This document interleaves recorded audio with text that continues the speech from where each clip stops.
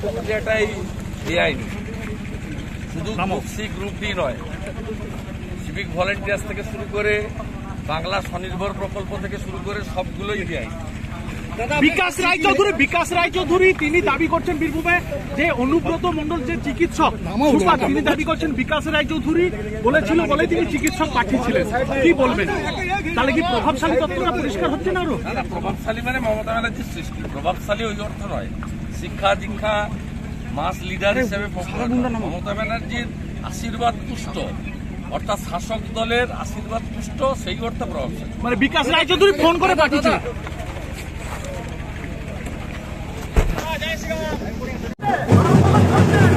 ভারত মাতার ছবিতে মাল্যদান করছেন জননেতা শুভেন্দু অধিকারী। জাতীয়তাবাদী আন্দোলনের প্রতিভূ আমাদের সকলের প্রিয় নেতা শুভেন্দু অধিকারী মহোদয়।